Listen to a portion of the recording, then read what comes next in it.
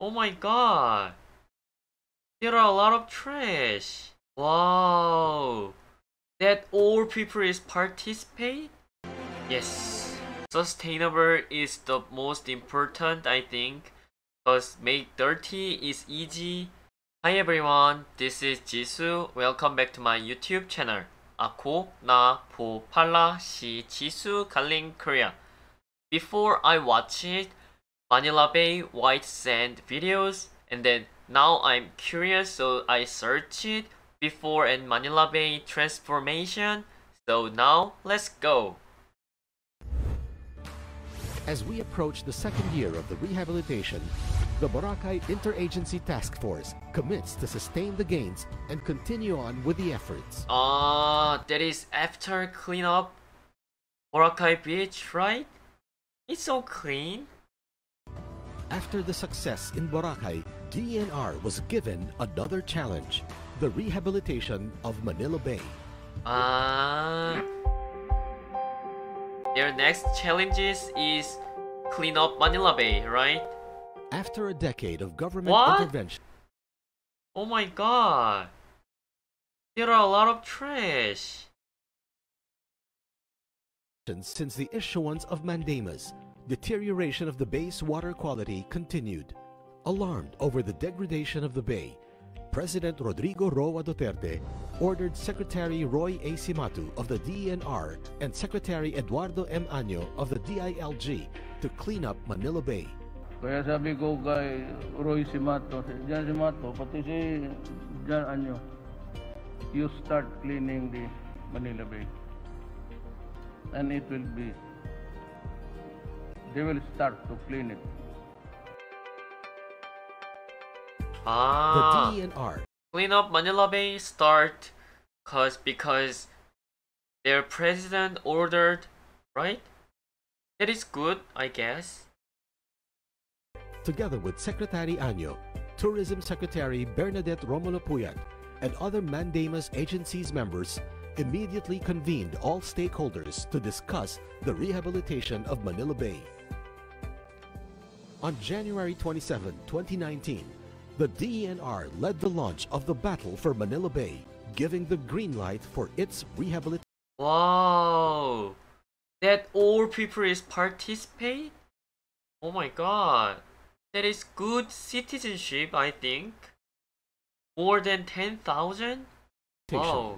Immediately after the launch, the DENR and Laguna Lake Development Authority closed down airing establishments within the bay, which were found violating Republic Act 9275 Clean Water Act of 2004.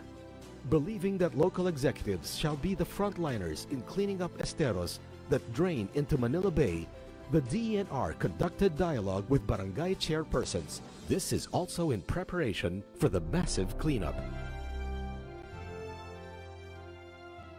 On March 31, 2019, the Battle for Rivers and Esteros was launched with more than 16,000 people participating in the cleanup. Oh, that is a big, big deal.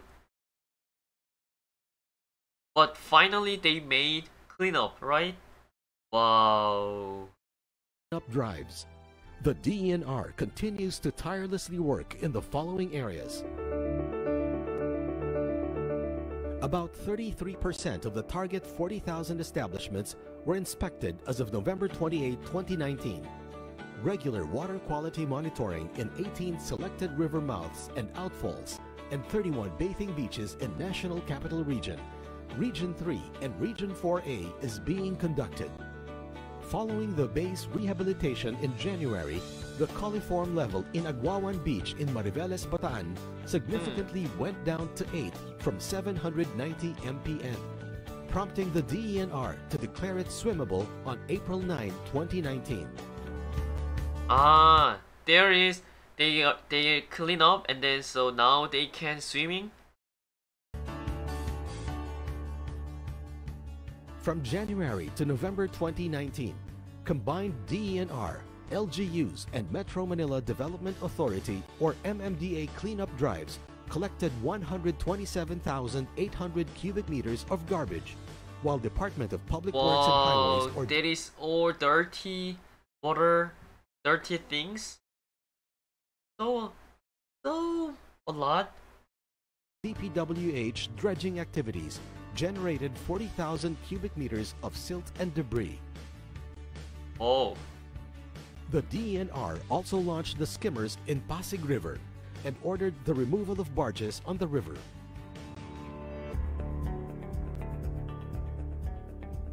Delineation and demarcation of easement has started in 32 waterways in three regions.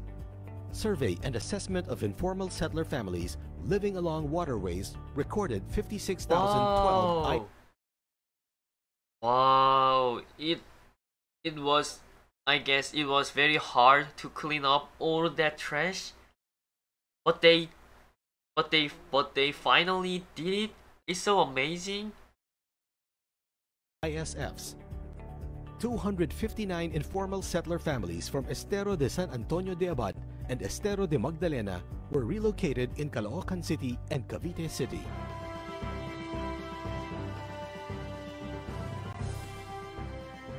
The DENR also hired 1,142 Estero Rangers to help out in the cleanup of esteros Ah. and collection of garbage from households along rivers and esteros. Yes.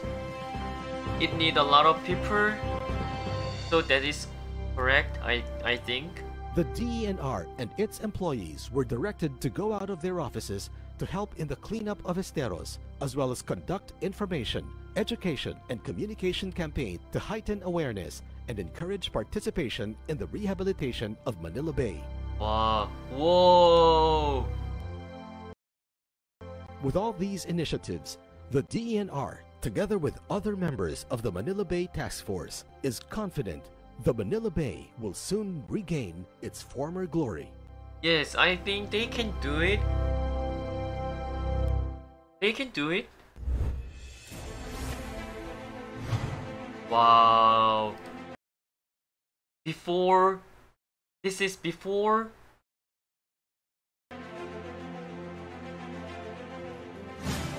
Wow. How can they. How they. How they did to clean up all that trash? It's impressive.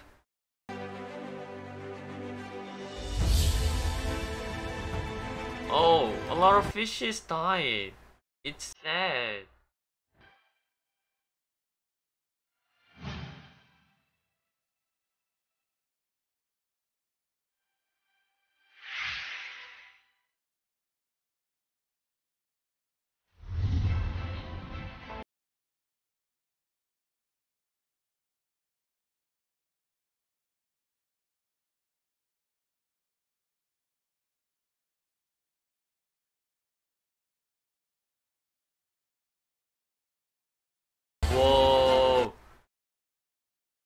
There is a lot people to participate.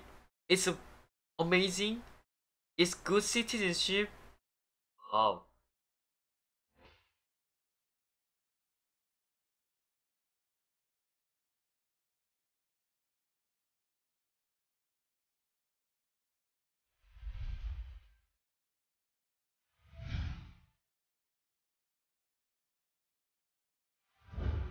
Wow, a lot of people to do cleanup.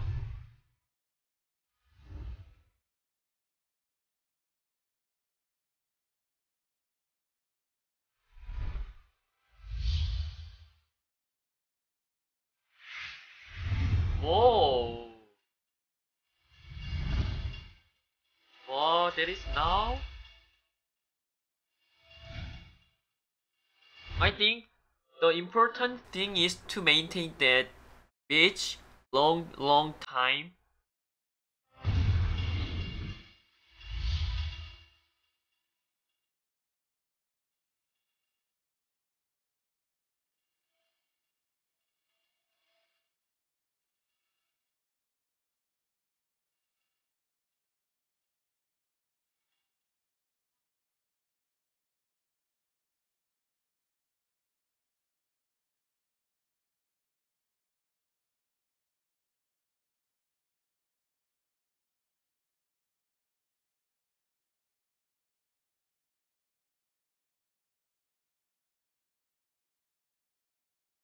Yes. Sustainable is the most important, I think. Cause make dirty is easy, but make clean again is little bit is more difficult than make dirty, I think.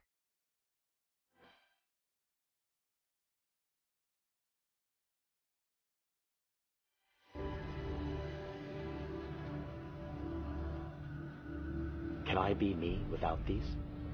Can you be you? And if this invisible thread that holds us together were to sever, to cease, what then? What would become of billions of lone, disconnected souls? And therein lies the great quest of our lives. To find, to connect, to hold on. For when our hearts are pure and our thoughts in line, we are all truly one, capable of repairing our fragile world Uh, and creating a universe of infinite possibilities.